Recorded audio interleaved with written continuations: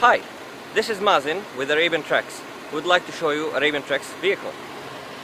It has the front AEV bumper, front LED headlight, has the LED light, and it has the D2s as a floodlight. It has the Warn winch, and of course the Monster 35 inch tires on 16 inch rims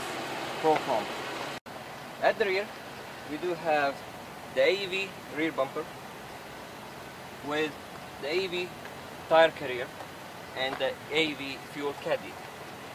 On the side we have the air system and the water system and of course the air pressure system. On a JK it's a must have an AEV snorkel with a pre-filter. As you can see a 3 inch lift on the JK with a Fox shocks.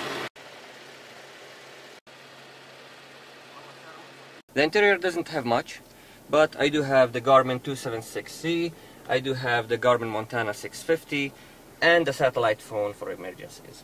Of course you can see my switch pod here for the 50 inch LED lights and for the D2 LED lights and this powers up the whole rear end and this one has for my reverse. The installation of the rear water pump it it's a flow jet has 1.1 gallons per minute and it goes up to 35 psi and it's hidden right here under the rear fender here. Just it's hidden just right here behind the fender where my hands are. As you can see the lines this is the pickup line. It goes all the way down to the AEV rear bumper which I made some modifications to it right here. And this is the pickup line. And let's see how does it work. So the way it's very easy. I do have one switch here. Once I power it on the air compressor will start running until the tank fills up. Let's see how, how does it go. As you can see the air pressure is rising. It goes up to 160 I locate it. Once the tank is full, the twin air compressor will shut itself and it turns back on once it drops down less than 140 psi approximately. This is a separate switch. So I do have the front, uh, the front switch, I have the rear switch. So this one powers up, the red one powers up the water pump. So I can have either one running or I can have both of them, just depends on what my needs are.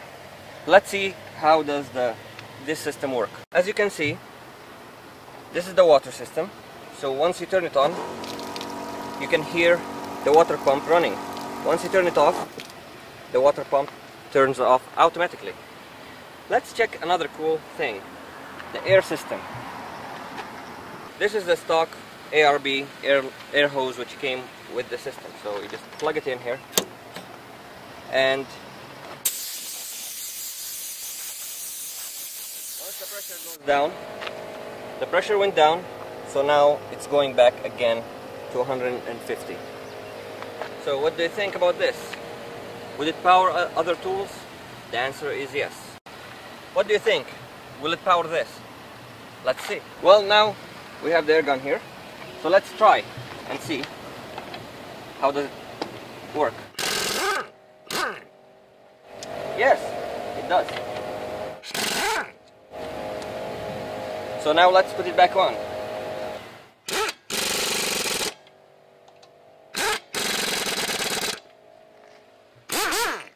Works! Just for your safety, in case you want to go with it. Please, remember that the air pressure is supposed to be zero while you're traveling.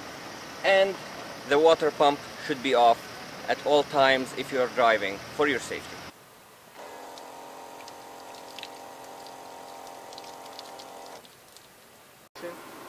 Thank you for watching Arabian Treks. If you like our video, please subscribe, share, comment, whatever you would like to do. And hopefully we'll see you soon in another episode.